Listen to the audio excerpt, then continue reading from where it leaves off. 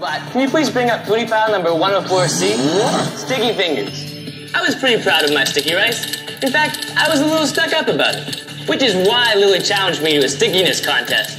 Her peanut butter creations and my rice balls tied for taste. And we had a blast making them. All it takes is creativity, and you'll have meals everyone will stick around for.